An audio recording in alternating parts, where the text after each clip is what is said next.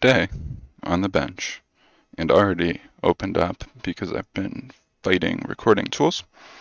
I have a Hallicrafters HP or HPW1, uh, depending on whether you have the kit. Power supply, low voltage, fairly high current, and I want to use it for a variety of things, especially testing motors and RC cars. But got to replace a few things first. Now originally, and I have some footage on this, but it's completely mute, so we'll see if that ends up in here. Anyways, the original line cord was left in, and a new one was just added with screw nuts.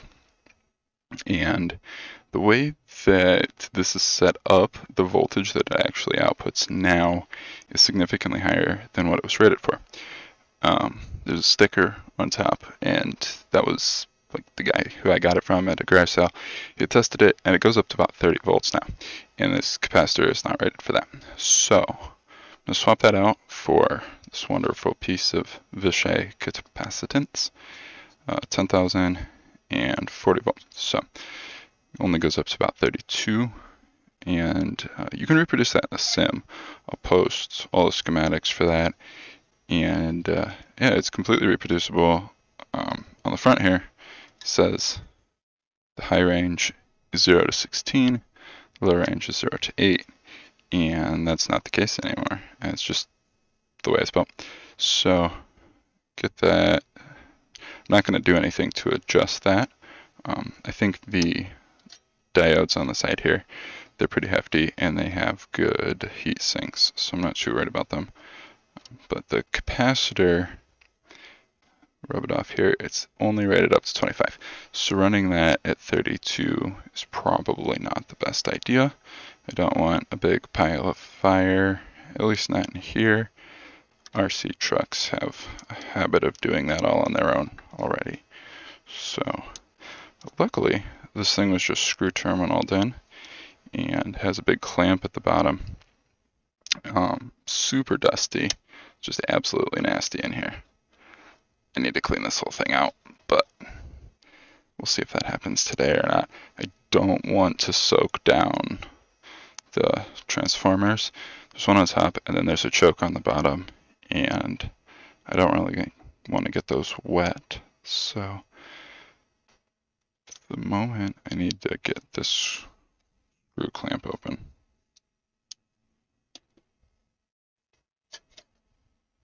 That out. Some kind of code on the bottom. I don't really know much about what that means. Sprague, so it's actually going to be replaced with something fairly close, possibly a descendant. And one of these is probably a date code or some component, maybe even the 63. I think these things were made in the 60s. It says, there's a little bit of writing on the top, 45 and factory wired. I'm pretty sure it was not made in 45. Um, I looked these up and I believe they were sold in the early 60s, both as a complete unit and as a kit, so you could get it take it home and set it yourself. The manual has instructions on how to do that. So pull those out. This thing is going to need some screw terminals because it doesn't have any yet. Way, way smaller than the original. I've got a few other components I want to add as well. Um, so this, I'm not sure what I'm going to do to attach it long term. Probably see if these will bend safely. Spiders are kind of nasty, but not too bad. Uh, and the single one was the negative, and this apparently, so the negative is labeled, and then the next one you want is actually this number one, and then two and three can either be connected to ground or left out entirely, uh, not connected, which is interesting, but that's what the mounting instructions say. So, who is the data sheet to lie? Gonna find my kit with a bunch of screw terminals. I don't know. I think I really want to do a double screw terminal here, but I'm not sure what the other options are.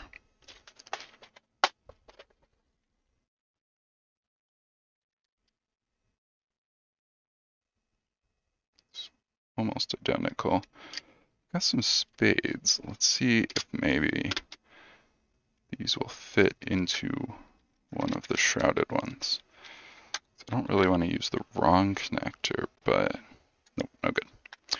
Okay, so in that case, probably just going to attach a couple of these onto wires, do that, and then make sure these don't come in contact with each other. And then I'll make it actually really easy to swap this out or add anything on later. So I like that plan for the most part. Um, see if I have the right sizes in here to color code them. Not all of these are available in exactly the same size. Just need to find a matching pair. Seems pretty good. Okay. So use those, clamp those down, and some solid core wire.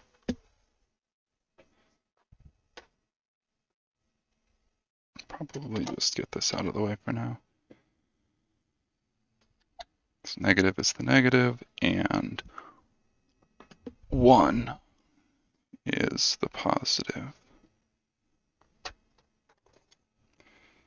As soon as I turn on this fan, the audio is just going to be gone. So I'm going to mute before that happens. Come back afterwards. Don't need too much wire on this. I like them to be relatively matched though. This thing's only doing 40 volts. It is a pretty significant current, but these old wires, I'll look it up later.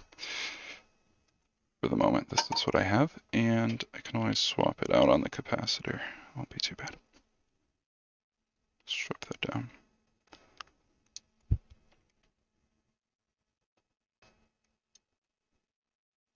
Hoping OBS does not make a mess of this. It's the first thing I tried using to record.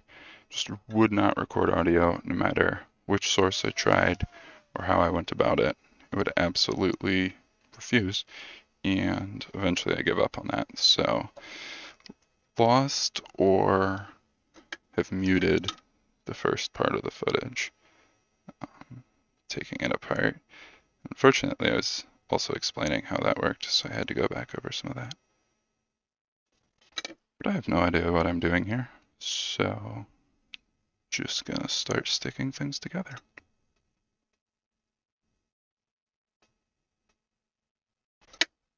That is stinking, so I need to get the fan on.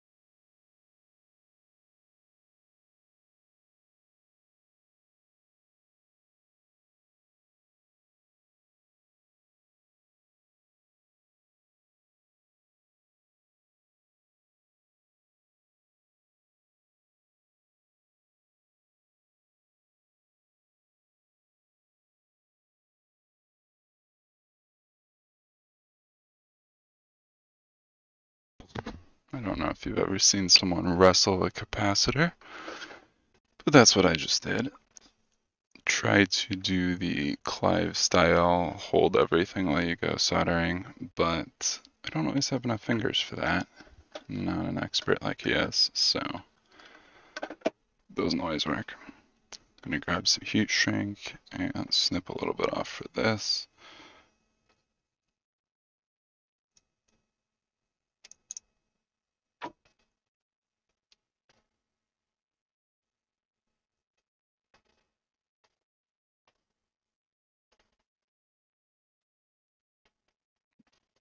Bending these leads gave me just enough leverage to solder them.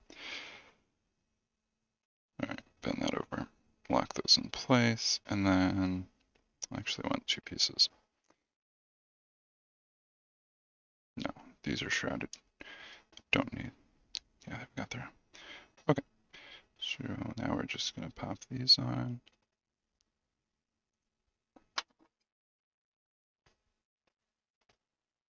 Probably should tin this first, huh? Well, too late now. Well, that didn't do a thing.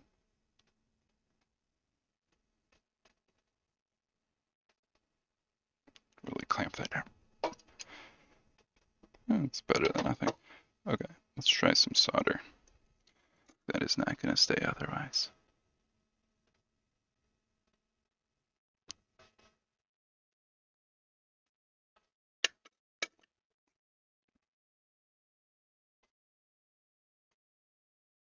Doesn't look awful.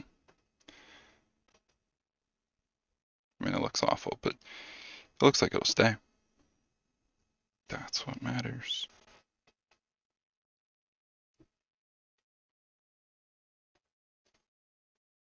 I think I stripped these back like way too far. Um, they don't really need to be exactly the same length, so let's fix that. At least on this side, it's too late for the other one. Let that peek out just a little bit.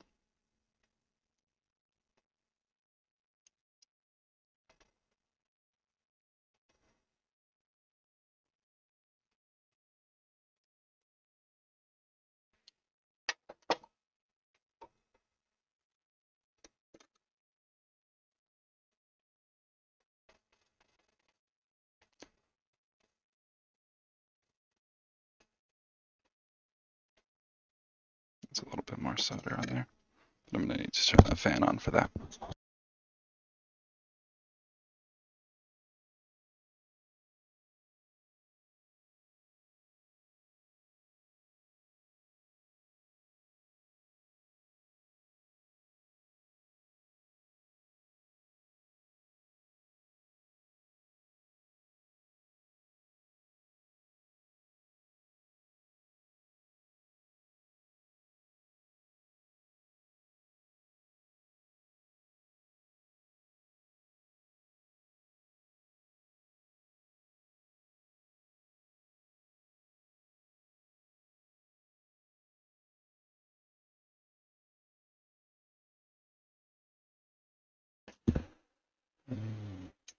Smoky.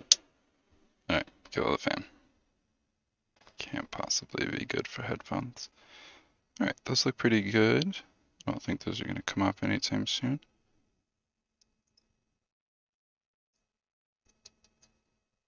Yeah, plenty for what I'm doing. This is going to be tacked down eventually, but I don't have any kind of sticky pads right now. And I probably want to put some Velcro or something on there. I'll have to have to see how hot it gets. Um, but for now, we'll just go with this and do this, this heat shrink. And then put a bleeder resistor over this. I'm not exactly sure where I'm going to do that. I want to heat shrink these down, so I don't think it's going to be at the bottom there. Um, I might just put that in through the screw terminals and then this thing doesn't have any kind of safety capacitors, so just in case, I also grabbed a bit of mounting board, mounting strip, whatever this weird old mounting stuff is.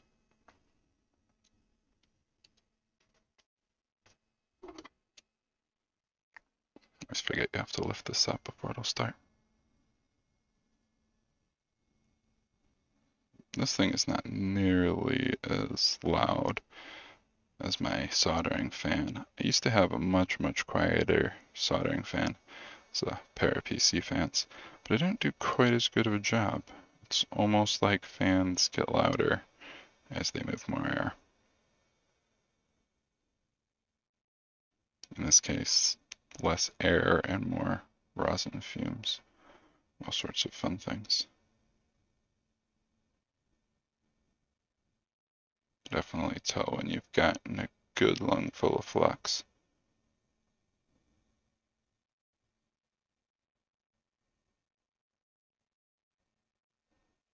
This shrink? I don't think it's supposed to, but... Oh no, it totally does.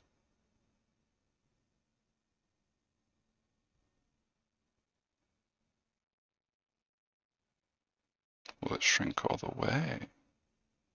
That's the real question here.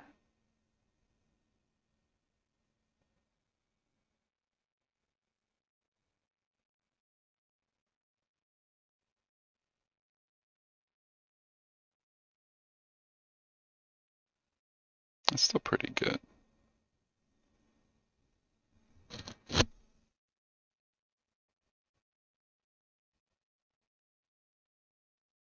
Alright. It's good enough for today.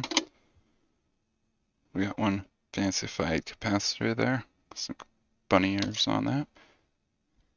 And this whole thing ends up being about the same size as the original. So that'll actually fit great, except for the radius. It's just a little bit different.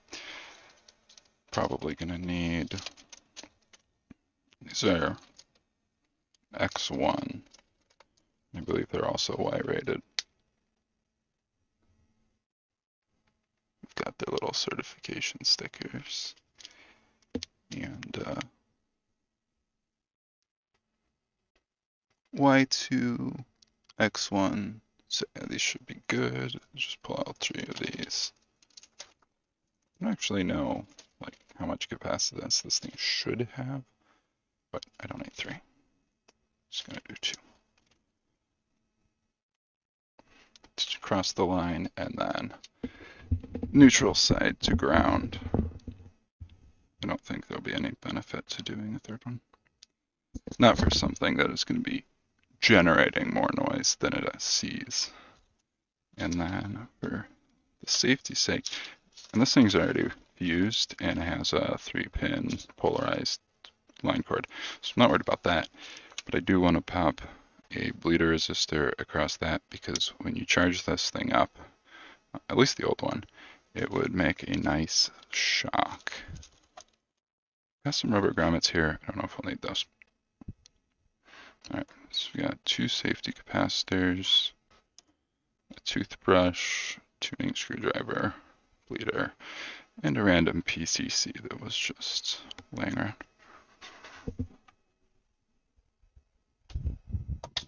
Get this chunky boy back up here.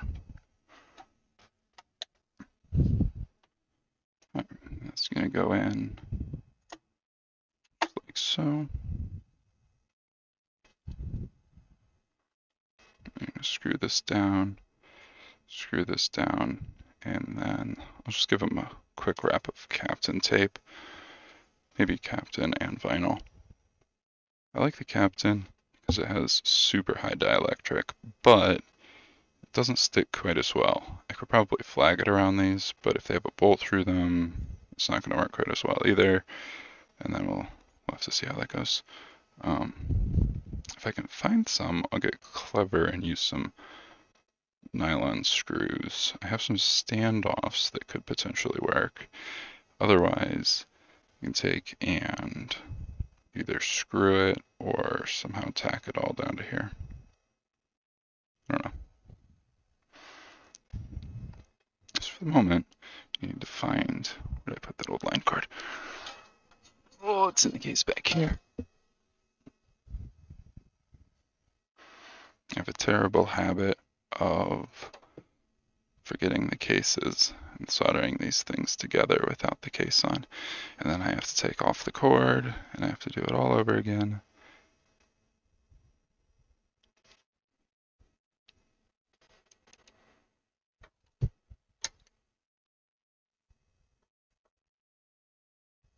This is.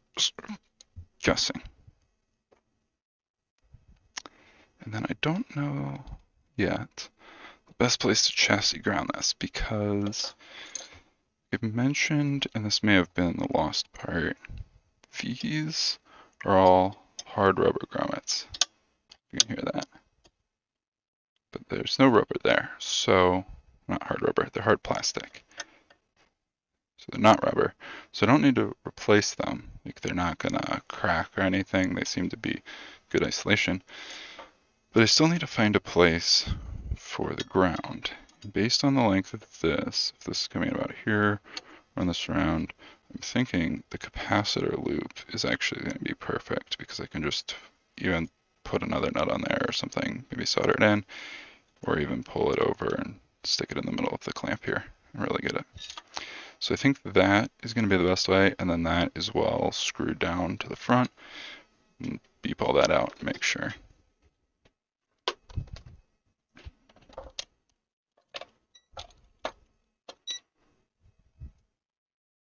Okay, so we're this,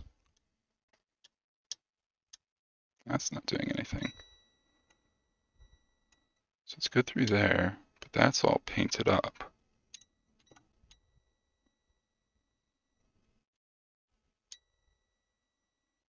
Interesting. The paint's not that good. Okay, I think that will serve as a pretty solid ground. These are perfectly well isolated still. Isolated, nothing fun there. But the meters, like all of this, the meter terminals still isolated. So those will be good. Everything up here is no connections. But then if I get down in here, the heatsink bolts, and then the capacitor clip, and all of the meters. The painted parts aren't, but so you won't get it there. But if you get in the screw holes, all of those peep it out. So that should be nice and safe. I have to get that run through the case. And this case needs cleaned out. So I might have to do that first. Probably turn off the iron here. So this is the re-recording of the audio. When I came back from washing off the chassis, I hit record in OBS again, and my computer crashed. When it came back, the audio wasn't there, and it was still monitoring through my headset, so I kept recording and didn't notice. So I'm going to try and narrate over it and hopefully get something halfway decent. I was looking for a different color screw terminal for the ground lead. I wasn't able to find anything. So ended up having to use yellow, third color in this kit, and really would rather keep them separate colors instead of necessarily color matching them correctly. So red to red, blue to black, and yellow to green, the closest I could get.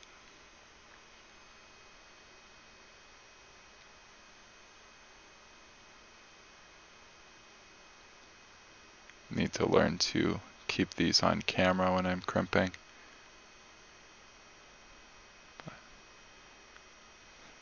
This one doesn't reach all the way down to the chassis and I don't want to solder it onto the back plate.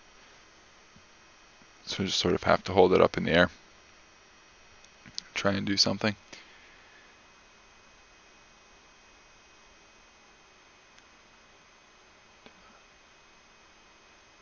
Wire gets pretty warm, those screw terminals are not small.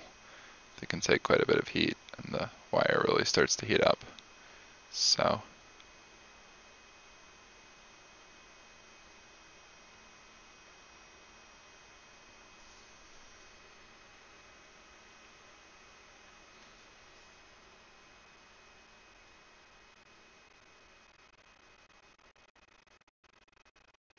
whole time I was turning off the microphone when the fan was on, but with sound canceling or noise canceling on the microphone, really can't hear any of the fans that I have going. So next time, if I get audio, when I get audio, I will just keep that on and definitely keep talking.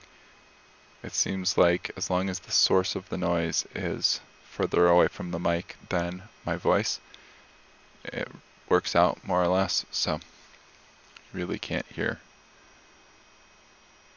the solder fan.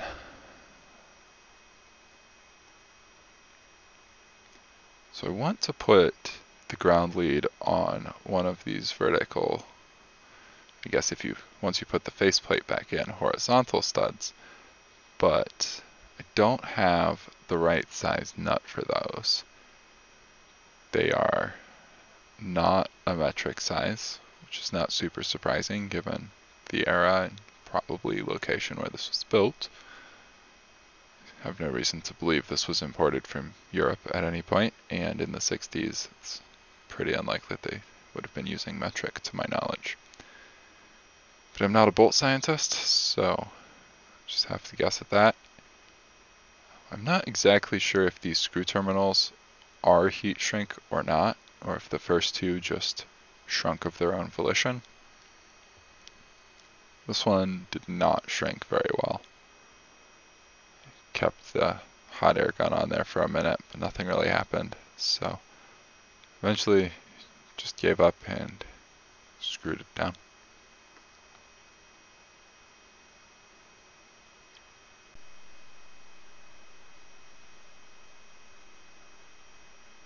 The plastic did soften, but it didn't really shrink any, so I'm not sure what was up with that.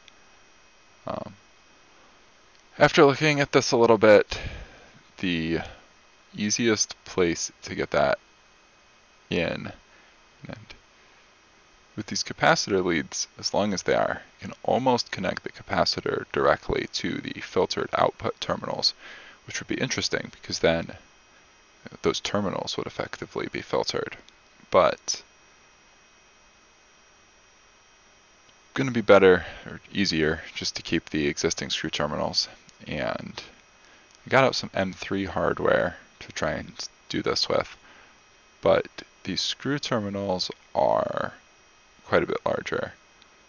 M5 more likely. So even with the washers that I have, uh, the lock nuts that I got just don't fit at all. Nothing happening there. So they completely fit through the middle of the larger the, the existing screw terminals that were on there. And those are the ones that I was trying to avoid removing. So just have to find some M4 nuts to make that work.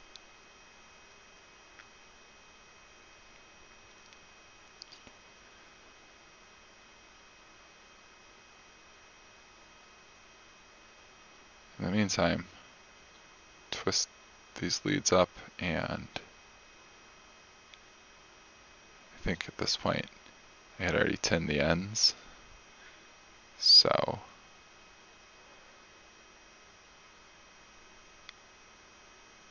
I could ground it to the back. Um, that whole panel is grounded, but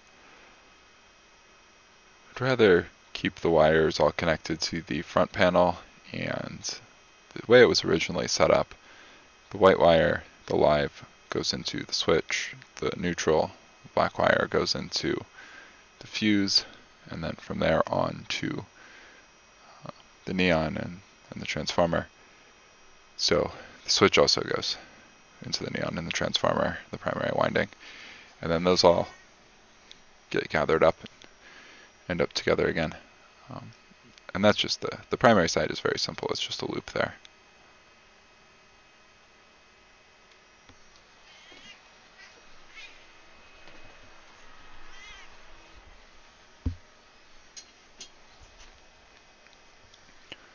I'm going to tack this down to the switch and that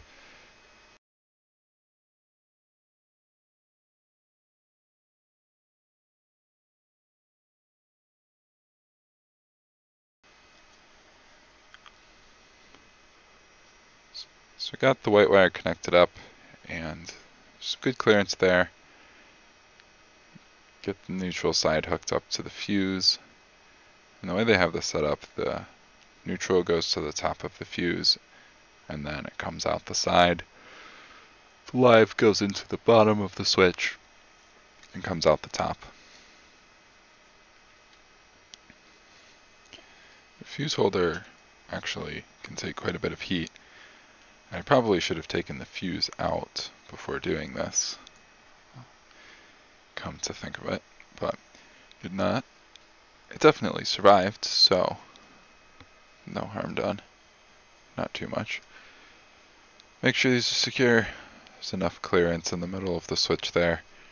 Um, it's just completely loose, so there's not really anything to prevent that from arcing other than the air gap.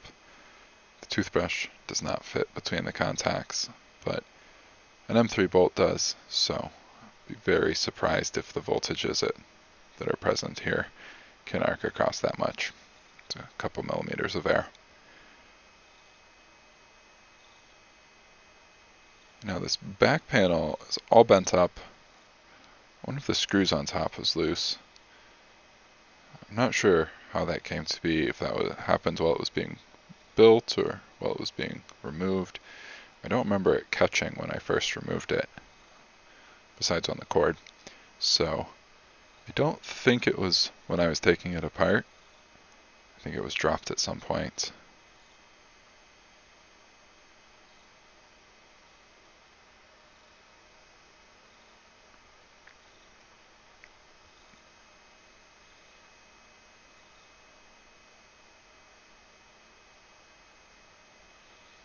There's still a tremendous amount of dust in here. So and get out the party liquor, wipe it down real quick with a shop towel, see if I can get some of that out, just clean it up a little bit.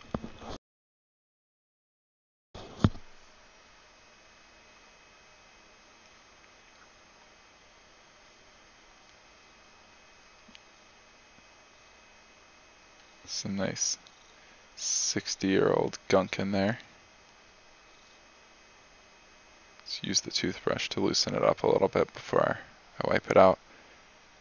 And the alcohol gets most of it, but I don't want to spend too much time scrubbing at it because there's it's a really nice paint job on the front panel here, and it's still mostly intact, so I want to leave it intact as much as possible. Um, on these older paints, if you let the alcohol sit for more than 30 seconds or so, it'll really start to melt. So. The meters in the front are disgusting as well. Mostly on the top, it was definitely stored in the most dusty place in the world. Not quite as bad as the sandstorm signal generator, which I will show everyone soon, but yeah, this thing was definitely pretty dusty all over. The transformer, the meters, both front and back, like the dust got everywhere. It was it was inside, it was outside, it was all over. And this tape that they used, or what used to be tape, is now becoming some sort of straw. Can't tell if it was paper or wood. It, it seems more fibrous, like it was some sort of plant material to begin with, but it's definitely some kind of weavable reed. You could make a basket out of it now. That's what I'm trying to say. It's not in great shape. I don't really want to mess with the windings or cause any kind of shorts, so I'm going to leave that in place. And some of this wiring, I don't want to go through and completely rewire this whole thing today. Um, so Just going to wipe down some of the worst of the wires. They have the nice braided cover, and the covers are in pretty good shape. Some more scribbling on the back here. Looks more like a signature than a date code.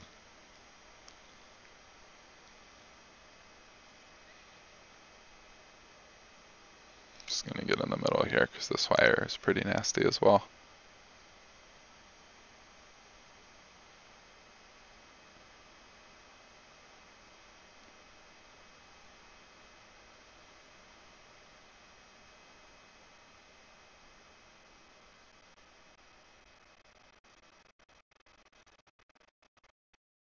Hard to get down in the front of the windings at all, but got most of it.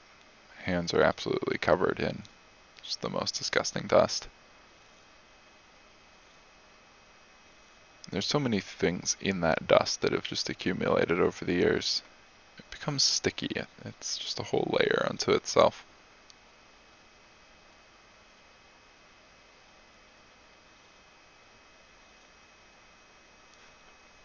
Misplaced all of my new components. Uh, they ended up under the faceplate here. So I need to pull those out and start adding some of the other stuff. Uh, the new capacitor is wired up in and of itself, so that's ready to go in place. And then I want to get this bleeder resistor across because the old one, when I first cracked this thing open, um, a good, I don't even know, a, a few hours after it had last been run, it immediately, uh, I went to check that capacitors, figured I should short it out, and it's a big old spark. So my screwdriver can handle that, but I don't want to accidentally catch that. Um, the connectors on the front, they're pretty beefy, which is good for the amperage that they're going to take, and they have shrouds. They're, they're very well shrouded. So you're not really getting into those by accident, but this is only an issue if you're going to be poking your fingers in here. Trying to solder this on with a cold iron doesn't work so well. Definitely recommend turning on your soldering iron before trying to use it. Doesn't have quite the same kick if you don't.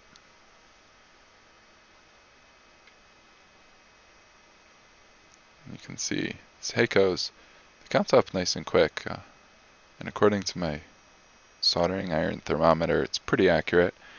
I've heard that there are better options, but for what I do, this is plenty. Especially, this is about the, the largest stuff that I work on. These old radios and older power supplies tend to have the beefiest components. Everything else is PCB, surface mount, signal level stuff, so...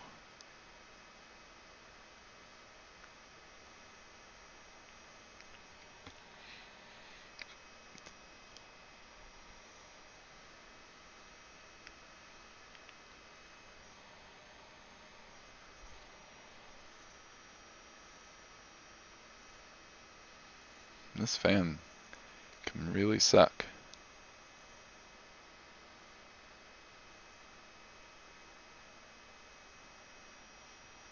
It's nice because the whole, my whole lab setup, my office is in the basement, so I don't have a lot of ventilation besides fans coming in and out, a vent in the ceiling. The window under here is not one for ventilation or anything. The screw terminal started to twist around uh, when I was soldering the resistor on. There wasn't anything to hold it in place and it just started to twist around the end of the wire. So I'm going to get the other end of this hooked up to the positive leads. Need to that tack down, but I think the best way to do that is just going to be to wrap the other lead around itself and then screw that through. This isn't going to be under, oh, excuse me. This isn't going to be under any stress once the case is closed and the capacitor is attached. So I'm going to stick the capacitor in place or clamp it down. So it's not going to be moving around. Um, this lead is not going to be wobbling around in the breeze at all. So it shouldn't be too bad if it is looped around and sort of becomes part of the whole screw assembly.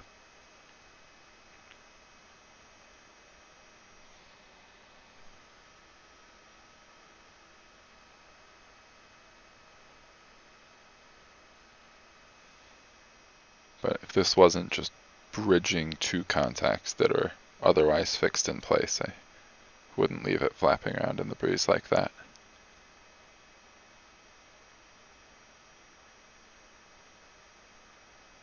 Just loop that, gave it a couple twists, and attack. tack. It's a, good strong loop there. So I'm going to pull this down and start stacking everything up to make sure the fit is good. But yeah, the resistor fits across the terminals now. So that should keep the voltage down on that.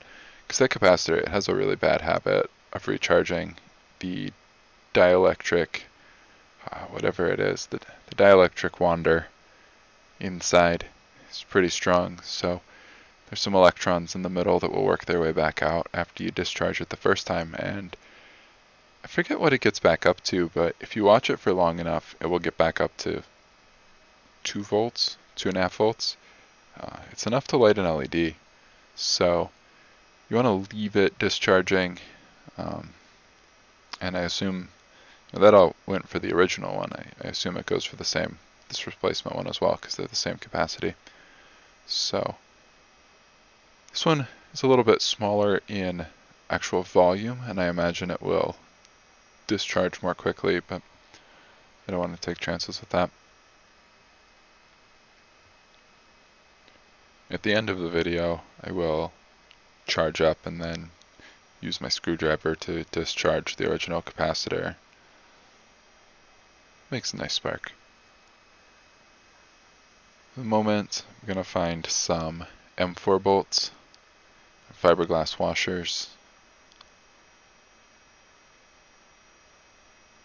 Still probably not the right size, but it will definitely work. The M4 washers will not slip through. So, Unfortunately, I don't have any extra nuts of whatever size this uses. I need to figure that out and then try and get some. Um, seems to be one of the, the SAE sizes, but for the moment, I'm just going to take the ground and can't get this nut off, have to put it through the actual middle of the clamp, the part where the screw goes through, because that will definitely hold it. And this one, I don't know what they did. I was really cranked down on there. Even using the Knipex, I couldn't get it off. So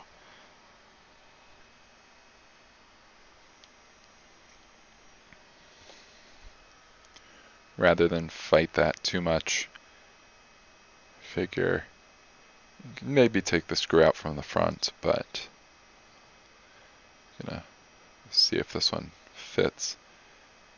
And it's a loose fit, just the wrong kind of loose fit where it wants to stay in place now and doesn't want to thread itself back off. That's not great, I have to wedge the tweezers under here and then start to undo it with sort of that slope under it to push it up.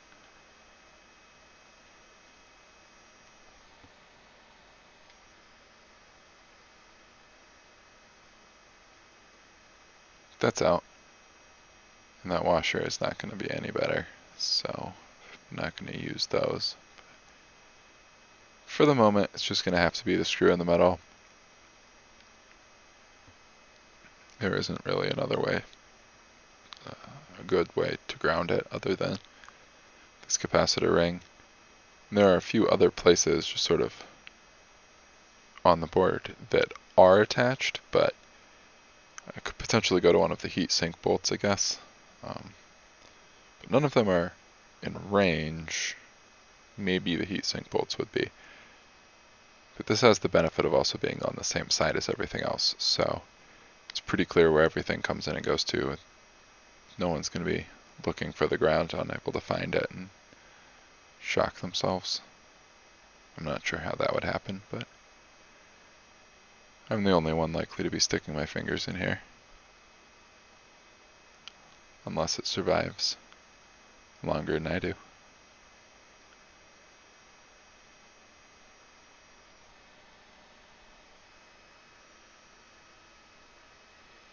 I don't know why they put this ring facing this direction. It would have been significantly better if they had put it the other direction so that the um, that nut was on the outside.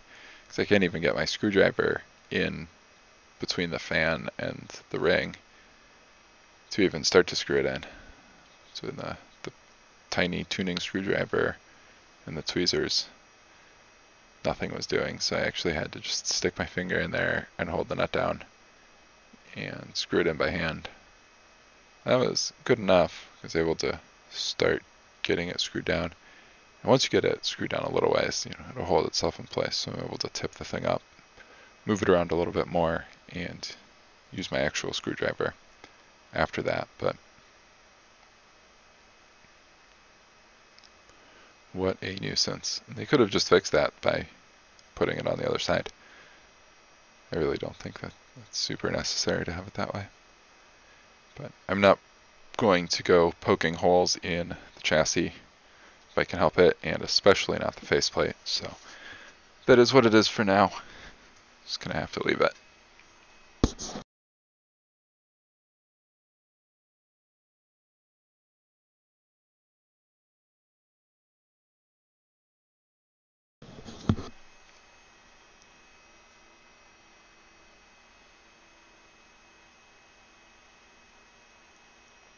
Really tighten this down. It was cranked on there pretty well before, and it has a lock washer, so I want to make sure that bites well. Make sure there's good contact with the ground. Um, the plastic piece is clear of the clamp, so that works perfectly. And then I got it at an angle. It's pretty tight, so it's not going to move now, but it's actually not a problem for the capacitor because it's so much shorter than the original. I can probably just leave the capacitor sitting on the bottom. Wouldn't really need to attach it in the, the exact same spot, but I'm going to take the line cord and test, beep this out. Considering this is a re-recording, you won't be able to hear the beeping, but the meters, the meter clamps, um, the whole front chassis plate, like all of that, beeps out to ground. Well, the magnetic coil and the screws, I think, are also grounded. I left a little bit of a mark there, but it was already beeping to ground, so I wasn't actually insulating or isolating it at all, the paint on there. Um, so yeah, the whole front panel, and then once I screw it in, the back panel will be all grounded out but both of the meters, the bridge coming in, all of that is still isolated and either attached to the transformer, uh, I guess attached to the transformer one way or another, mostly on the secondary side. So the whole, whole secondary side of the transformer is floating, and I think if you were to do it right, you could even reference this to something above earth ground, because if you were to float the second side, you'd be good. Um, to get the safety capacitors in here, I'm going to have to attach them one across the line and one from line to ground. So I don't know where the best ground point is. The best live point is going to be the switch. The one contact of the switch. And I think in this case, I put it on the bottom contact of the switch, which actually leaves the capacitor connected uh, even when the switch is off, which is not right.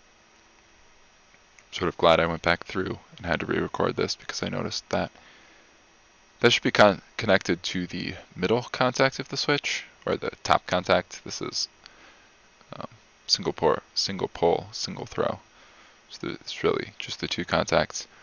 And it should go from the fuse so on the fuse side, I did do it correctly and I put it after the fuse, so the fuse is still protecting the capacitors. Um, so it's not the worst thing in the world if the capacitor does happen to fill short, then live will dump through the capacitor into the fuse. Getting to the ground is going to be more interesting. That's much further away, and I don't have any nuts to attach to these closer posts. You get two of these in there. And I'm going to do a quick twist on the shared leg so that they can both hook up to the fuse. And then get some heat shrink on all of the legs. the shared one and the others. I want to color code that.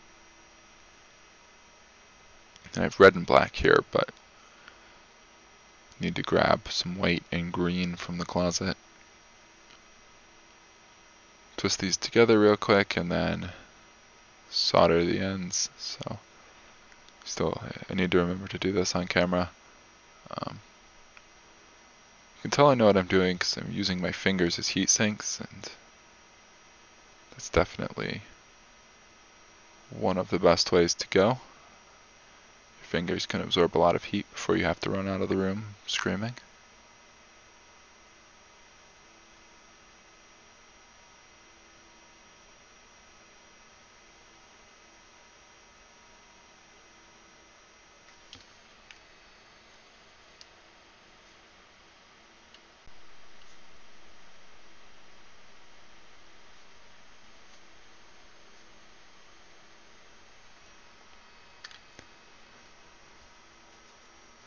Go poke around in the closet here, find some heat shrink, and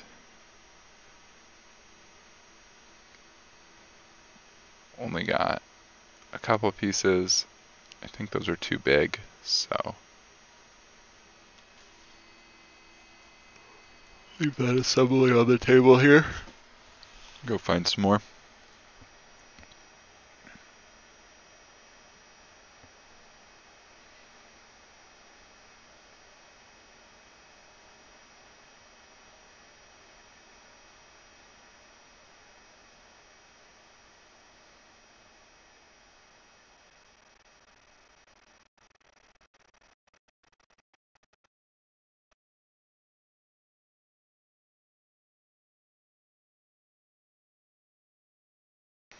Take this other heat shrink and off camera, cut it to length, just nip a little bit off the green. Got red and green. Because this is on the AC side. Red is sort of debatable.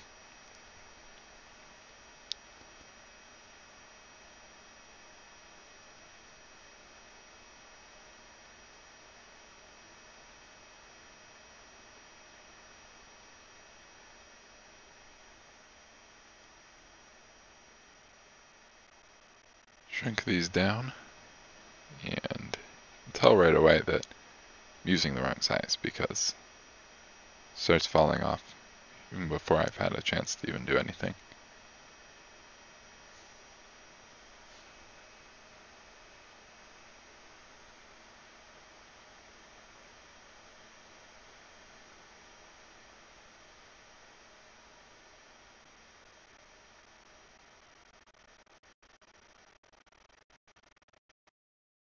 This one on the common negative sort of stays on for a second because that is two wires together and they were enough to hold that size in place, but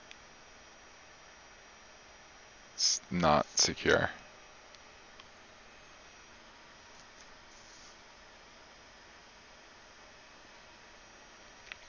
A piece of red heat shrink went flying. Let's get that put back on.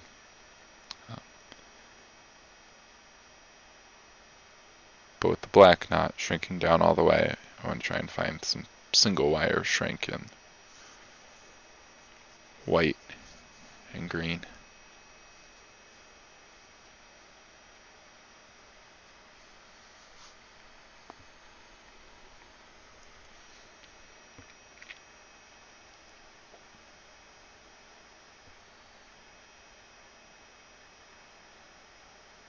Although I grabbed red again before realizing that we were working on the AC side, so you want to be conventional about it, this one's going to be right.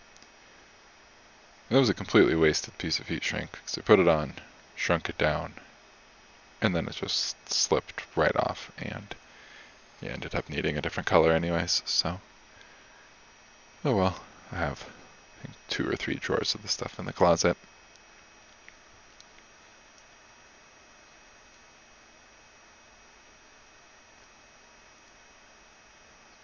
shrink this down a little bit.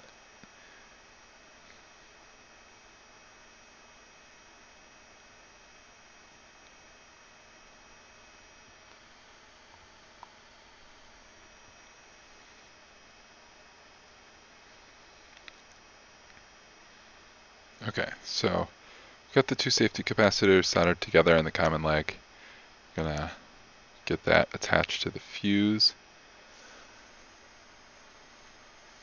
Realize that it needs to go on the side of the fuse because I want these to be protected by the fuse as well. I don't want these capacitors to be protecting the fuse. I want, if the fuse blows, the capacitor should be cut off. So, in this case, if the um, if the fuse is between the capacitors and the neutral, even if the capacitor does fail short and shorts the live into the fuse, um, you're just going to have the full current going through the fuse and it's going to blow right away. So it shouldn't present much of a shock hazard. And then once the fuse is gone, with the with the safety capacitor hooked up to the switched side of the live, then the, the safety capacitors are responsible for shunting anything there down to the ground.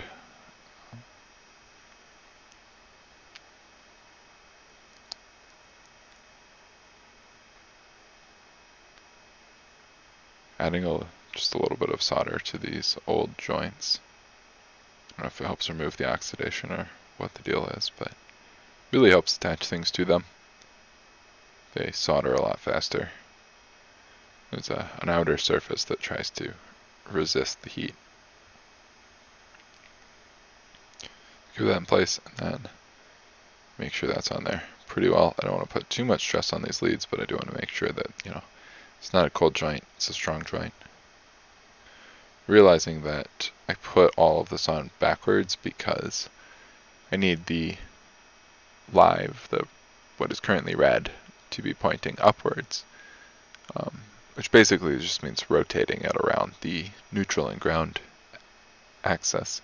If you were to draw a line through that one capacitor, then the other one is just going to be sticking up north of that line.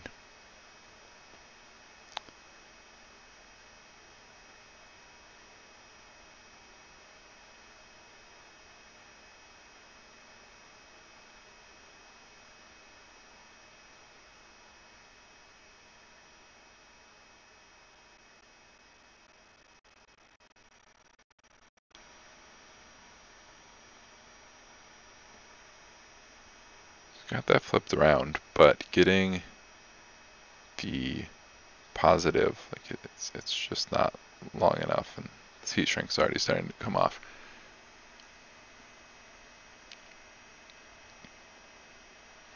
Just gonna take that out of the way for now. Originally, sort of I'm looking at the negative post here and thinking that's where I'm going to put the ground, but where the neutral to ground capacitor. But that's not an option because that is floating. That's isolated from the chassis ground. So I actually want to run that that uh, capacitor. It's coming down from the neutral line to the chassis ground. That needs to be chassis grounded. It can't be floating on the negative output.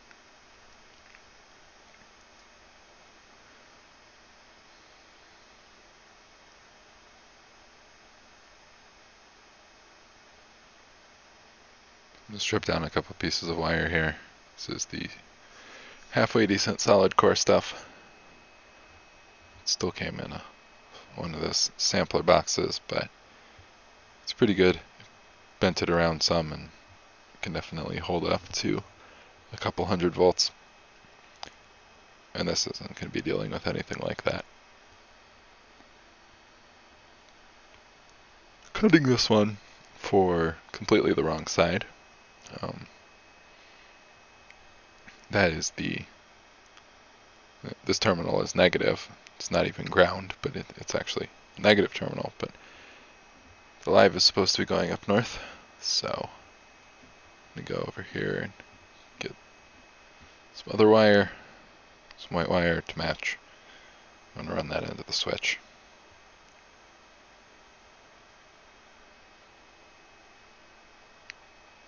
If I haven't mentioned this already, I did run it into the always on pole post of the switch, the contact that the live is directly connected to. And that is not what you want.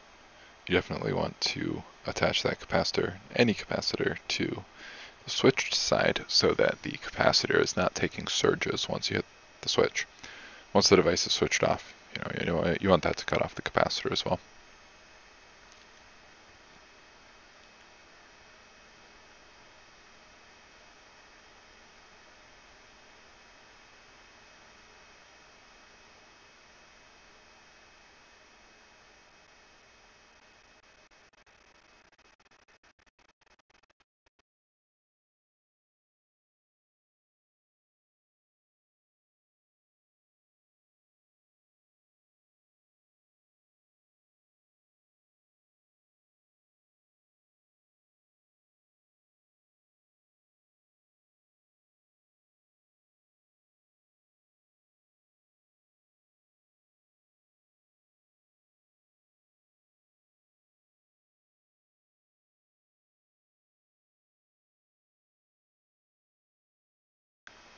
So this is the ground.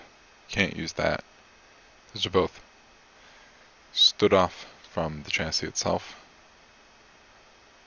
Going to need to find a better place to link these in.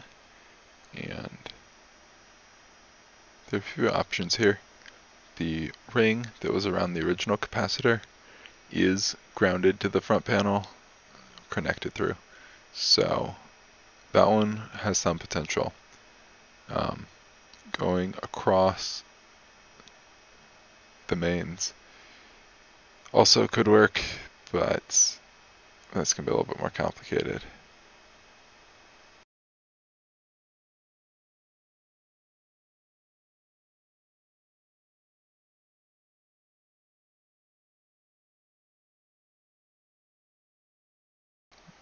in this piece of wire and then this is going to connect to one of the capacitors. Get that in the top up into the switch. Melt that all the way through and then that piece of wire will actually go into the switch like the other one. Um, starting to get real hot, so you use the tweezers and fix that. Just gonna melt this and pull it out a little bit so that they don't get caught on each other. And then take the second one, line it up, and sort of reflow them together. There's plenty of room in the mounting point, so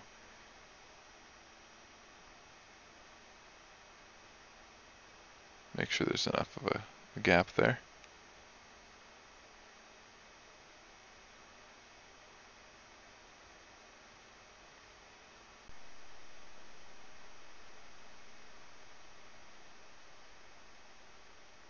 Tweezers fit in there, that should be good.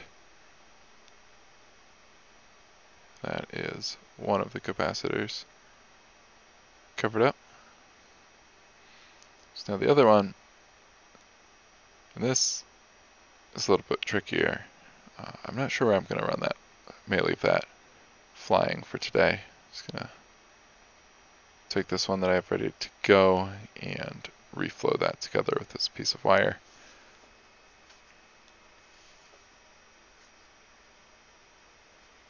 Piece of heat shrink over there. It doesn't work nearly as well if you add the heat shrink after you've soldered everything. Uh, it's a lot more difficult that way. I would definitely recommend doing heat shrink before the soldering.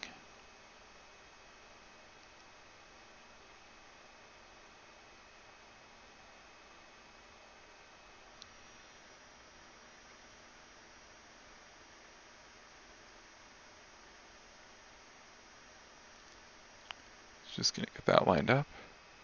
It's really not super prone to moving. The solid core wire, if you bump it or you press it really hard, it will get out of the way. But for something like this where I just want to give it the slightest bit of heat, just hold the iron under them and hold the use the solder to push them down. Reflow is a perfect joint. Just make sure that that is nice and secure. And now that everything is connected through it, it is. The heat shrink over that. And then The next question is where the ground goes because, I mean, it could go to any of the screw holes on the front panel, really. Like, it doesn't matter. They are all connected together at the end of the day. But I want to get it, the, the only place it can't go are these standoffs because those are actually the power supply. So I really want to take it through the capacitor ring, um, just based on the fact that the other ground is already there. That means that it's pretty likely, should something go horribly wrong, that ring is where any stray current goes, and it just goes back out through the, the line cord. So in my case, that's going to set off a GFCI.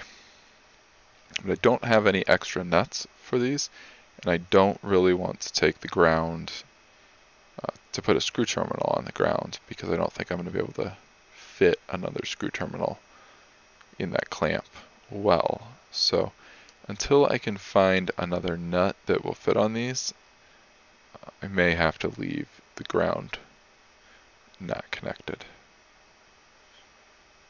Although this is no longer the line cord and chassis ground. Those are connected. This will just be the safety capacitor um, and one of them. So there'll be some noise filtering across the line, but there won't be a ton of noise filtering from the, the line to the chassis.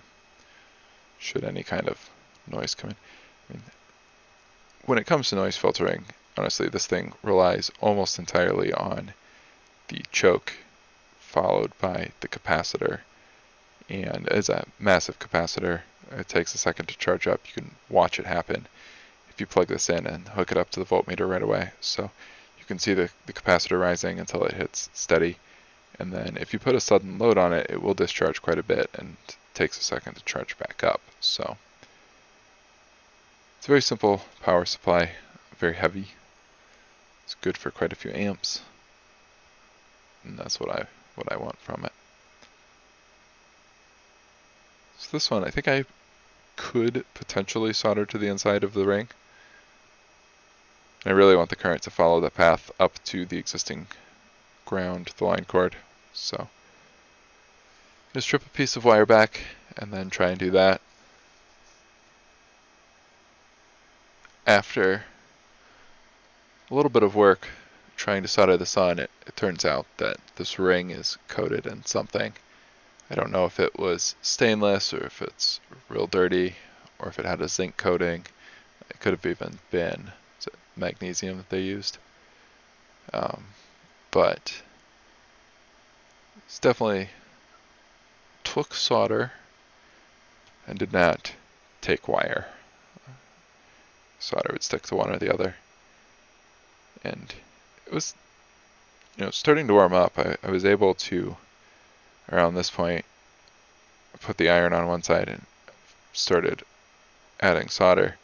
Um, and you could sort of write on the surface. The solder would bead up on the surface, and then it would take a second and it would flow. But I don't know. I guess it never got warm enough to actually reflow that wire into the. I ended up with a, a good glob of solder on the inside, but it didn't really do anything for me. So. This will all be very easily solved when I can find another nut and I mean, maybe I will just put a screw terminal onto the end of the safety capacitor, although that seems a little silly. Um, but I'll just screw that down one way or another.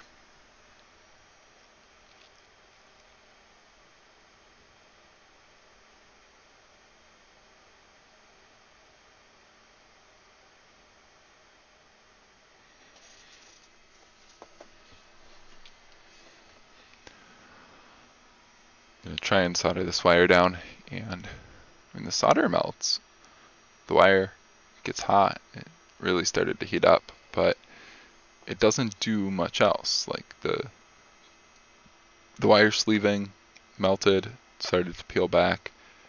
Um, and then I let everything cool down. You could see it flash over. Once it tested again, and the wire just pops off. So I don't really think there's anything I can do to solder down onto that. It's just not going to happen. At least not today. depending on what I end up doing, worst case I can poke a hole in it and attach something either through the hole and then try and solder it again or through the hole and put a bolt through the hole and then attach anything else onto that. Um, I'm not sure what I'm going to end up doing. It's also possible to cut the line cord or the, the ground. You can see that it goes right past the pair of safety capacitors. So if I were to cut the ground there, I could put a three-way joint on that and have it go, come in from the line cord, go to the safety capacitor, and then go to the, capa the old capacitor ring. And that will ground out the chassis. So I don't know if that's necessarily the best way to go about that. Um, I tried both the M3 and the M4. Neither of them fit, which makes sense. There's no reason for this to be metric, like I think I said before. But I don't have whatever size this actually is looking for handy. I don't have a kit of those. Tons and tons of M3, like literally hundreds of M3 nuts, but I don't have a kit of the SAE sizes.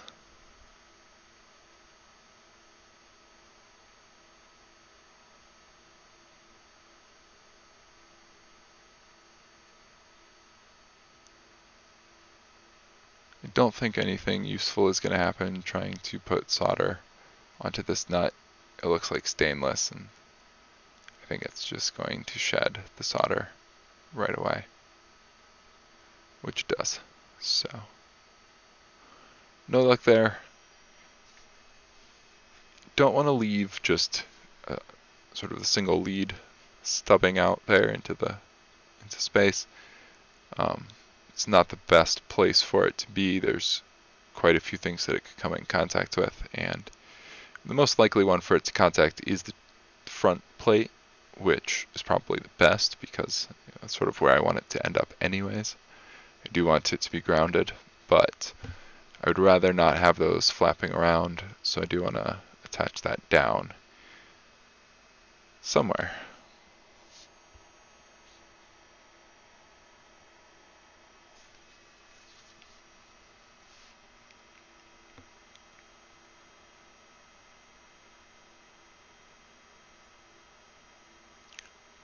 Fuse here is the first mounting point, and then I could put it up to the back, and this whole thing gets connected to chassis.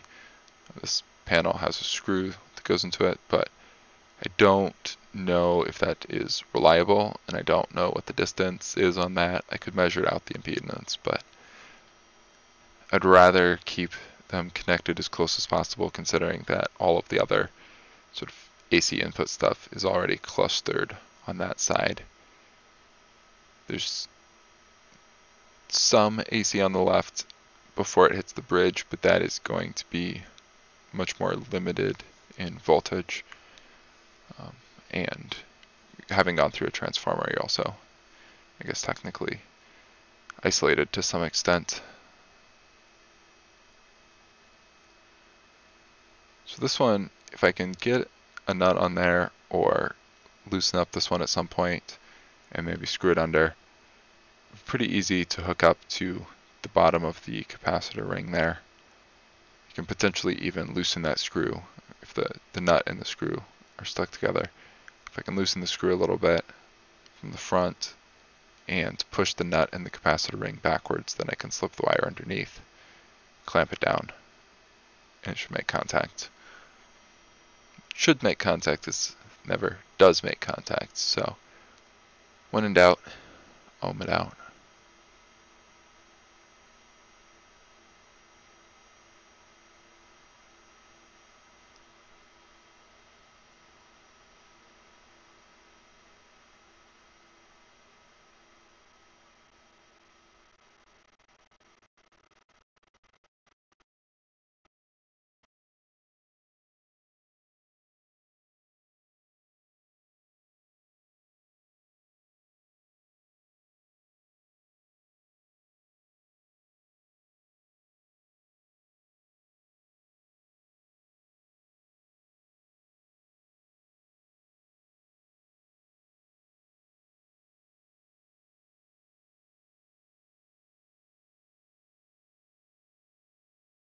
Tin the lead of this neutral to ground capacitor and get rid of any little spikies there.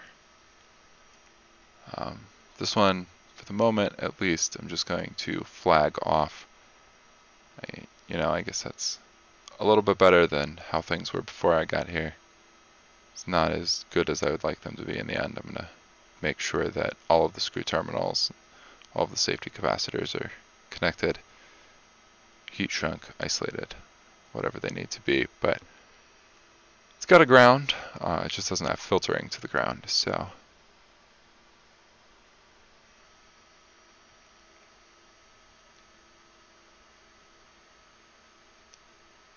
shrink that down real quick to make sure that no one can stick their fingers in it.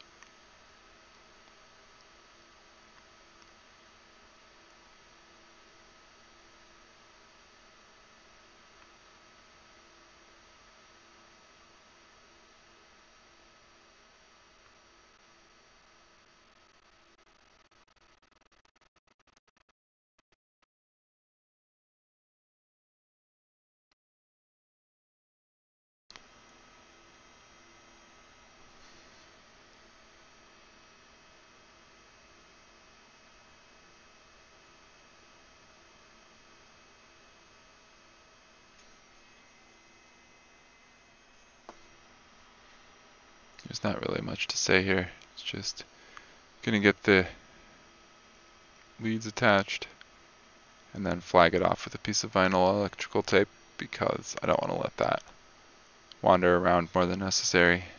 Um, the only thing it can come in contact with really is the thing it should come in contact with or the negative post of this power supply. And the negative post of this power supply is not otherwise connected uh, to the the low side of anything really so that might not actually be the zero that ground wants it to be.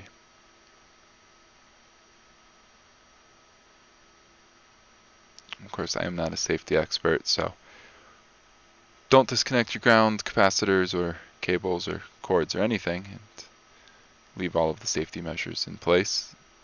Ask someone professional certification and don't listen to people on YouTube. Even though that's what I do.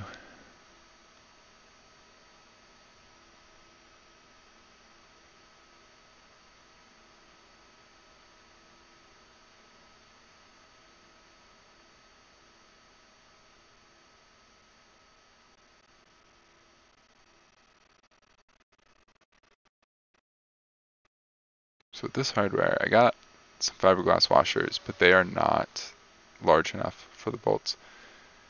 Didn't get enough washers, uh, metal washers, because I was hoping the fiberglass ones would work. And I don't really have any lock washers for the M4 size. All of my lock washers, I actually have a couple different kinds in M3, but I don't have any M4 lock washers. So,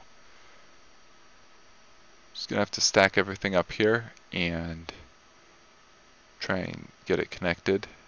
Um, like I said, pins 2 and 3 on the capacitor can be not connected or tied to ground.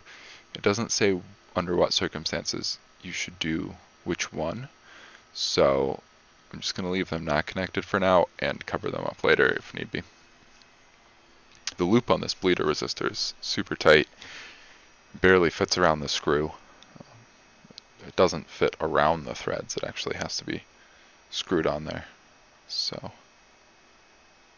getting that attached is a little bit of a nuisance. Even using the tweezers to open it up sort of made it a little bit looser, but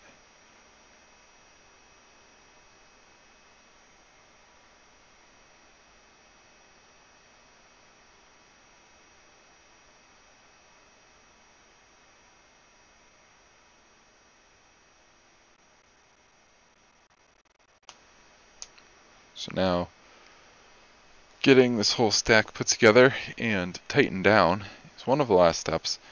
Um, I'm going to have to figure out how to keep these isolated from one another and from sort of the rest of the chassis. Because this is the secondary side of the winding, the capacitor and choke, and the output.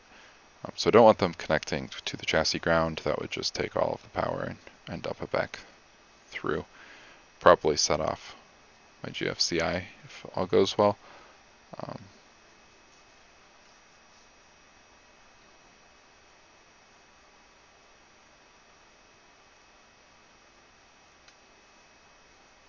I guess I'm not sure if the DC output from this would set off the GFCI. I haven't really looked into that.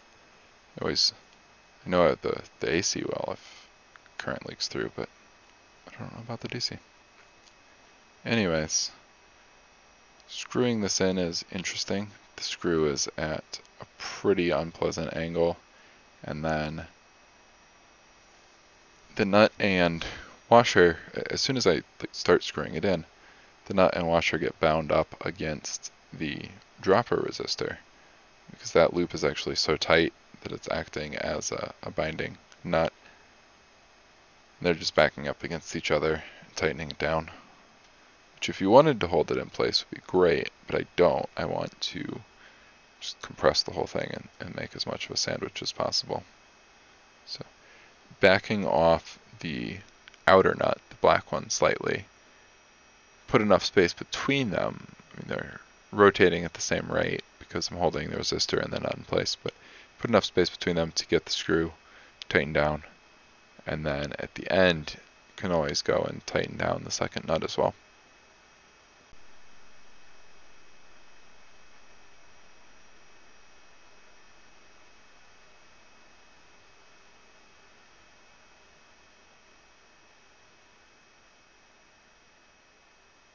Finally got a sort of acceptable line on that screw. Um, it'll be easier once I stand the whole thing up. But I only grabbed two of the metal washers, hoping that these fiberglass ones would do the trick. I don't really feel like drilling out the middle of the fiberglass ones, so I need a pair of other metal washers.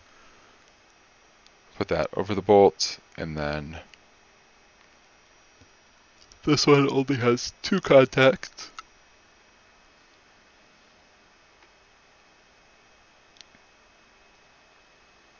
That all tightened down. Um, I probably should have soldered the resistor up onto the clip for the other one, but I mean this does hold well. It has a good connection. Uh, it's just maybe not the recommended application of these components.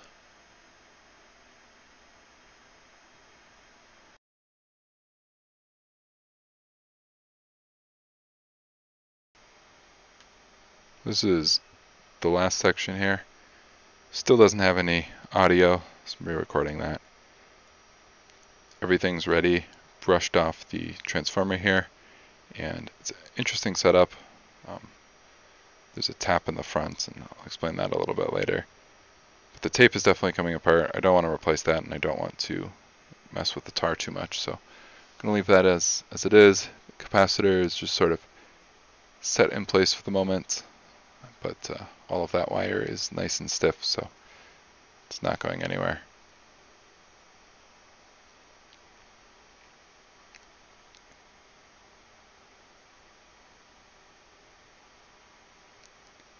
In order to get this tested, you need to get it hooked up on the dim bulb, and that means getting the line cord plugged in. Uh, it means putting the dim bulb on the bench and I need to get a few things moved out of the way first. Solder tower just takes up an inordinate amount of space. I think I like it, but I might have to switch back to the roll. It's just so unwieldy to use.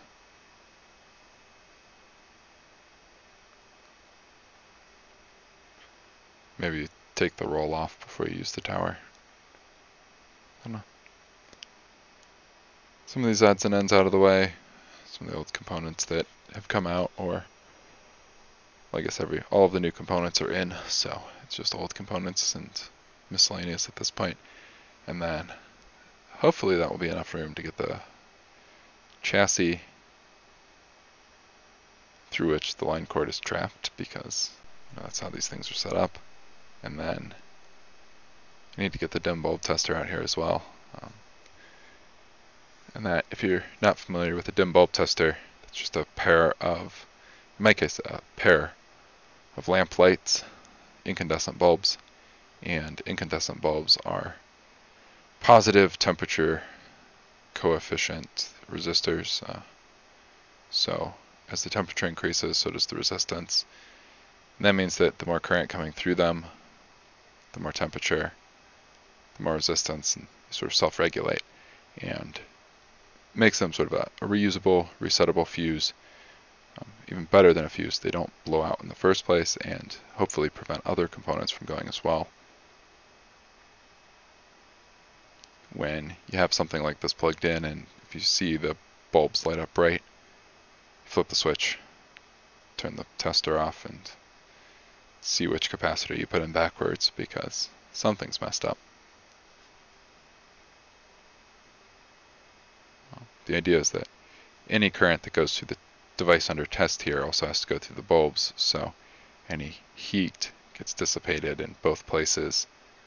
Hopefully the bulb takes enough that you can get it turned off before whatever failing component or incorrectly installed component explodes. Keep all the shmoo contained.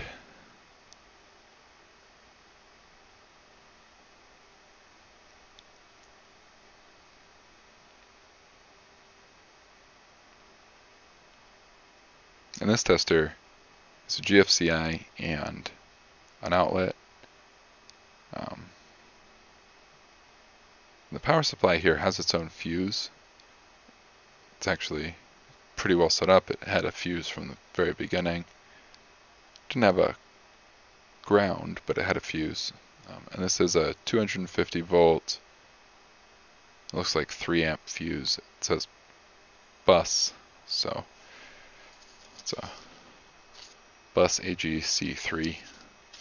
I'm guessing that's a Bussmann, 3 amp fuse. Considering the math on this, uh, if you think about so it's supposed to put out 16 volts at 10 amps. It's about 160 watts. And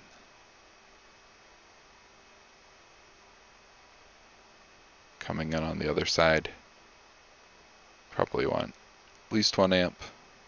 I'm guessing they did something a little bit higher to hand because if it's 1 amp for the 10 sorry 1 amp on the input side for 10 amps on the output side but the output peak is 20 amps. It's 10 amps continuous, 20 amps peak.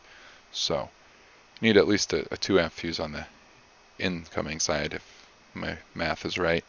And with a little bit of margin, um, if you're counting like RMS versus peak voltage, you're going to want 3 amps there.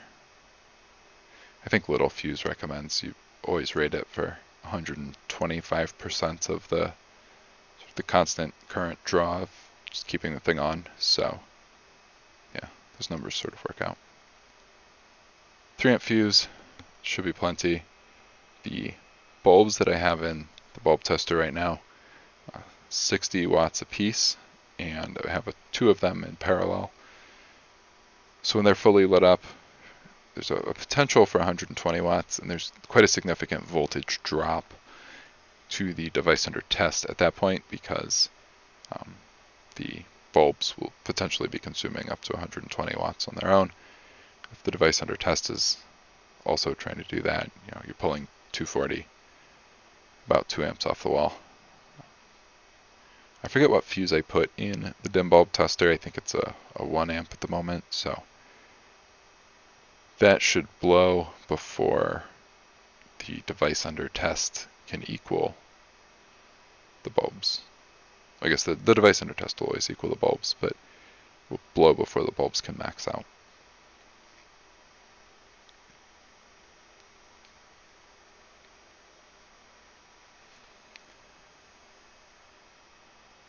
Get this plugged in. One point where I'm very glad that my camera is mounted to the shelves instead of to the cart. Um, because it used to just rock around whenever I did something on the cart. So that's fixed now. I'm gonna move, remove one of the bulbs, put in the, the one on this side, and take out the other side. So you can actually see what's going on here.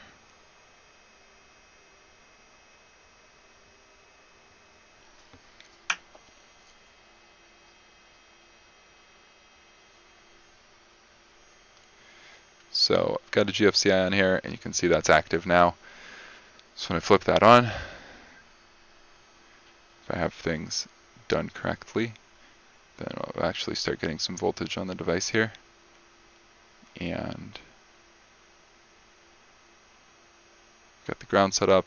Um, and this ground is not clipped, so that's now grounded through to the actual ground. I don't want to connect the live and, and the ground, that will send some current. I guess, fully isolated once you have the this device grounded as well. Uh, just finishing up the test procedure here. These are the fun gloves. You can do all sorts of things, but today I'm just trying to prevent electrocution and make sure the 60 watt bulb is nice and secure. Go to flip this on, but uh, it definitely works better if you plug in the device under test before you try and test it. Tend not to do much if you haven't plugged them in. Give the screws, all of the various mounting points, one last quick check. Make sure everything's in order there. And then gonna get this thing fired up.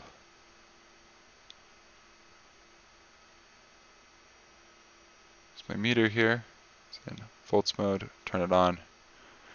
The meter's already on. Turn on the power supply. Uh, actually turn it properly on here.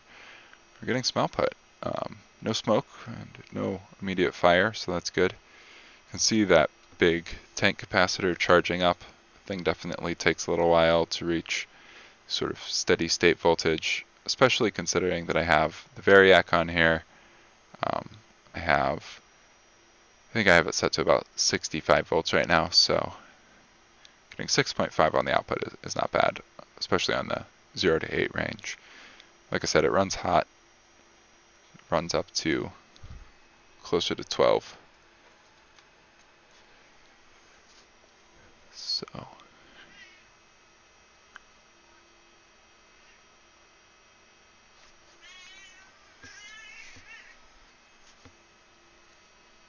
seems to be slowly charging, holding pretty steady at about a 6.5, 6.6. So I'm going to flip that up to the high range and see what that does.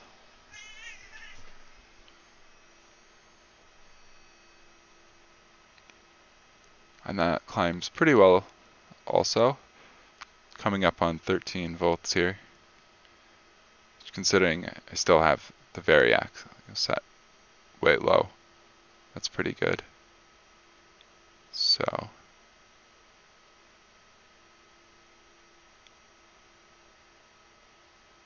Reach over here and stick my head in the shot. Crank the Variac you can see the the lamp light up there.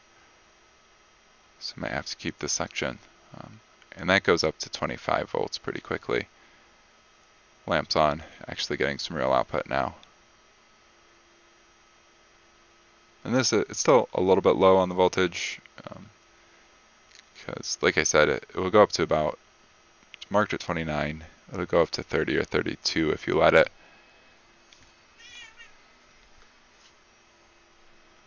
But that shouldn't be a problem now. The bulb is glowing brightly because the capacitor is definitely pulling some current trying to charge. You can see it sort of struggling to charge. I really turned it all the way up right away and it's competing with that bulb for current, for power.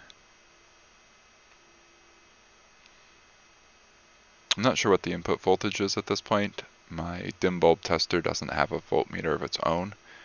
Um, it's actually something I left out and would be really useful to have to see the output voltage of the dim bulb tester after the bulb, after the current has sort of passed through the incandescent. But um, here's the sticker for that, and it says originally getting 29 on the top, and, and mine are my outlets are 125, so I'd expect that to be closer to 30, 31, 32. The lower range he was getting 19. I think I've seen that go as high as 20 or 21. Flipping it down um, with that bleeder resistor on there, it drains pretty well. So it drains nice and quick down to, I guess, what the, the steady state will end up being. Um, I still have that at the max. So I'm turn this down, and it says it goes down to zero. It does not go all the way down to zero in my experience. I think, based on looking at the, the design here, I'm just going to try and tip this forwards. There's a tap, and the, the way the white wire that's moving is connected to a variable tap on the transformer. And that's the main power transformer. Um, and the way that's set up is it's just narrowing where the bridge is tapped across the two halves of that transformer, the, the two coils there. I guess the two halves of the coil.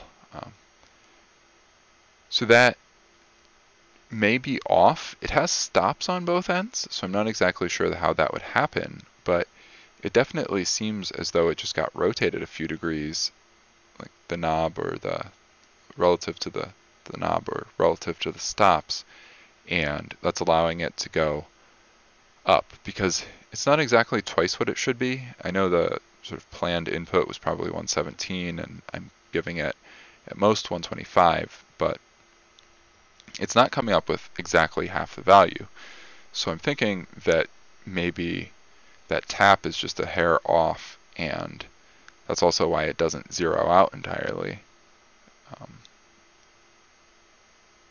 it's potentially something that I, I can fix. It also gets pulled down and it definitely goes a lot lower than it, it used to. It would end up stopping at about 2 and with that bleeder resistor in there, it's not a super fast fall.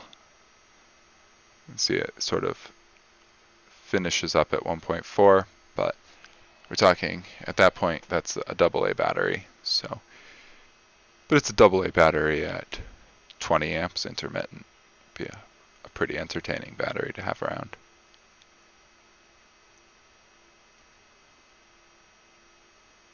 Perfect 1.420. Wiggle it down a little bit. I can get it a little below. But uh, yeah.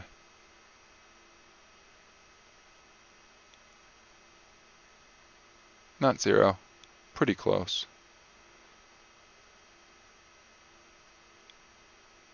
It's not going to give you too bad of a shock unless you lick it.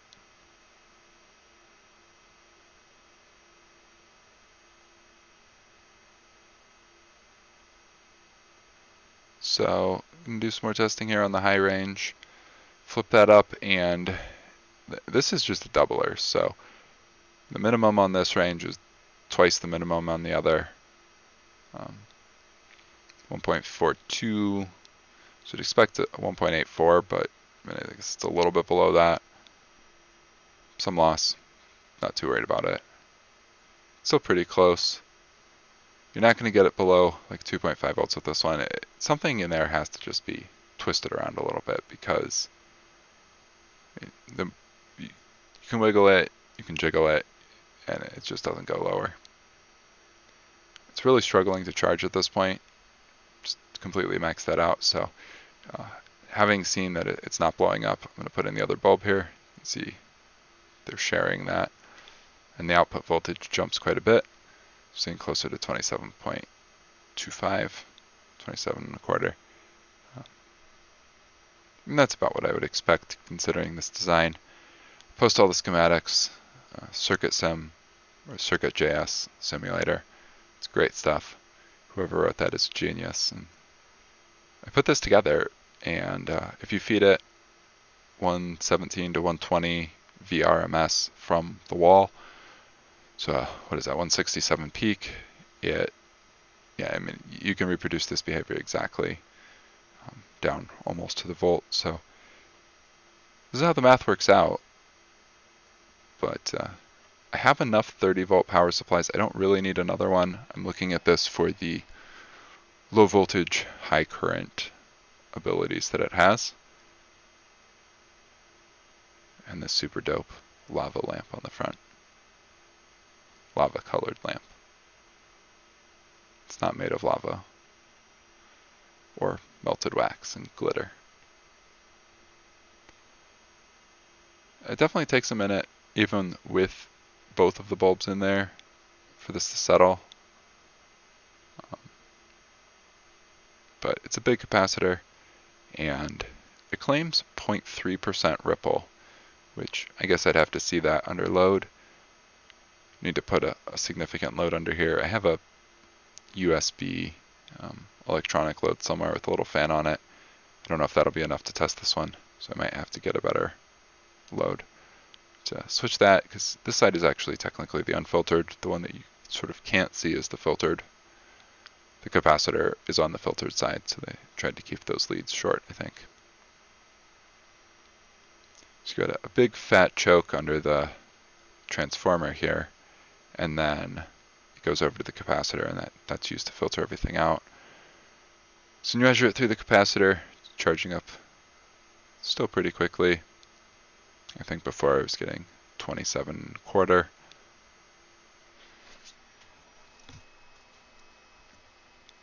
It'll probably take a minute to get all the way up, but getting pretty close.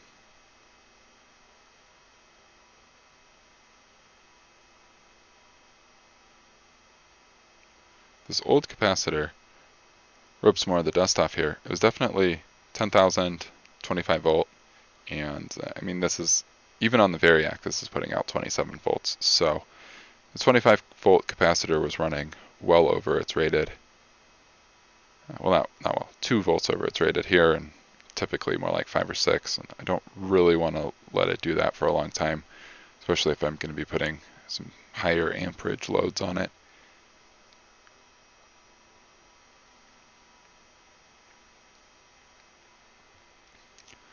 This one's rated for 40 volts. Never personally seen it go above 32, so even with spikes and peaks and whoosits and whatnots, that shouldn't be too bad. So turn this off. See it draining pretty quickly now. It's that bleeder resistor across the capacitor. Before it wouldn't do this, it would just sit at 16. And if you came around and when poking your fingers in there you know, a month later, it would probably still be at 16. It was capacitor had teeth. So this is already below a volt. Still dropping quickly.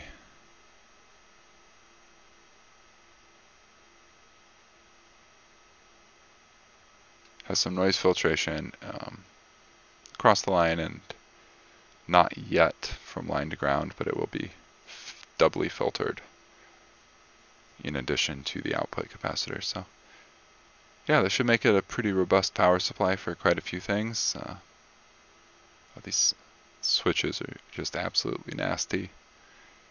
There's grease coming off of them while I flip them. You don't even need any solvent, it's just they degrease themselves.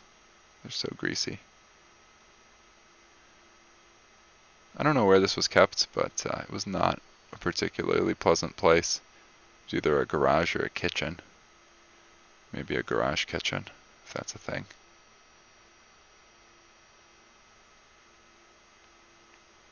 I don't want to strip the front down. Um, it just really has this one spot of rust, and otherwise the paint job is fantastic. I love these colors. It's a sky blue and navy blue. The camera washes it out a little bit, but it's really nice two-tone. The red shows up really well. Um, everything's in really good shape. It's not really dented. There's just a couple spots of rust, one on the chassis and one on the front. It almost looks like there was a larger fuse holder on there at some point, and there's a bit of tape that says 3M. I don't know if it if it was at 3M or if it was owned by 3M or it was just someone with some 3M tape. But it's a nice piece. Um, pretty cheap. Got it from the yard sale because the line cord was all weird and it was putting out too much voltage and I didn't think it was worth much, but uh, no, it's in perfect shape. Everything about it is actually really nice and now it has all the parts for the all the correctly rated parts, so it should last a few years longer.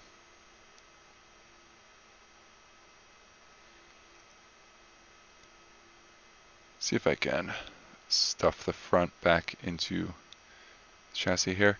So you can pick it up with one hand, um, but it's really unwieldy when that cord gets involved. See that thing just starts to get all in the way and yeah, getting it stuffed in here and pulling the cord out. Um, it's not great. Once it's screwed in, it's not an issue. The cord just sort of sticks out the back and everything fits nicely. Um, clean those switches up.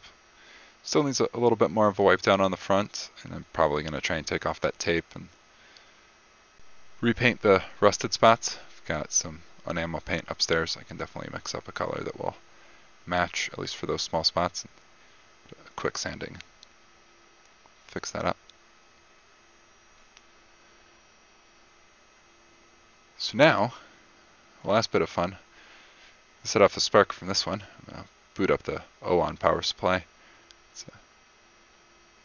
This is rated for 25 volts DC, so charge it to 20 and then short it out with my screwdriver.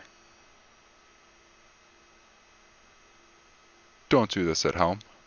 Don't do any of this at home and don't mess with line voltage at home unless you know what you're doing, have the appropriate certifications, safety equipment, all of that. Uh, make sure there's someone else around. But just, if you don't know what you're doing, don't do it. High voltage can kill. Capacitors can hold the charge for quite a while. And I'm intentionally going to charge this one up. Put some leads on it. Get it nice and juicy. So you can see what happens. But uh, this is a controlled environment. I have gloves on. I know what voltage is going into this. To short it out with an isolated screwdriver. These are good heavy alligator clips. Not likely to go anywhere. And then, just so I know what's going on here, it's always nice to see what's happening in numbers. More than one place. Never trust one measurement, always take two. So fire that up, and you can see it, it just flipped over to constant current, and then it goes back to constant voltage. It only takes a few seconds to get up to 20 volts. The thing really does not take long. I'm sure there's some electrons still working their way into the middle, but yeah, it gets nice and juicy real quick. So pull that off, turn off the power supply. And my meter is starting to drain it. There's not a ton of power in there, so we're down to about 19. Um, there's just some dust coming off. So yeah, I'm to short this out. Whew. That's a good one. Actually left just a tiny weld spot on my screwdriver. And uh, yeah, leave it on the screwdriver, not on your finger. Screwdrivers can't feel pain.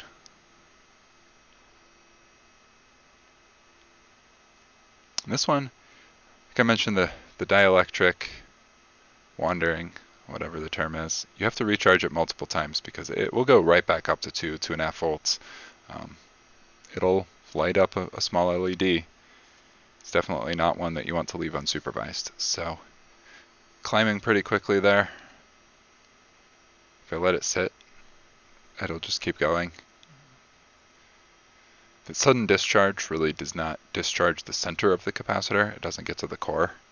You have to hold the screwdriver there and, really like you have to make sure you're in contact with both posts for quite a few seconds. It will then finally discharge.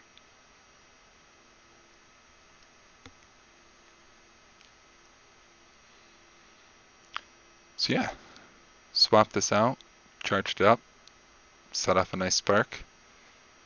Um, nothing more in there, no more fun to be had just a lot of old dust. So, hope you enjoyed watching. This was a, a rough process recording this, but got something halfway decent out of it, I hope, and got a good power supply. So, see y'all later.